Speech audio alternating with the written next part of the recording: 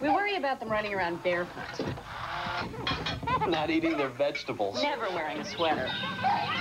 Well, too much cold medicine. It never occurred to us. Till Tyler's last cold. We were giving him medicine for a fever he didn't even have.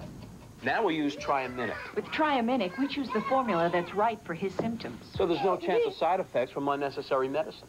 Tyler! Only Triaminic has the widest range of formulas for the right relief without the worry. Now new severe cold and fever in bubblegum flavor.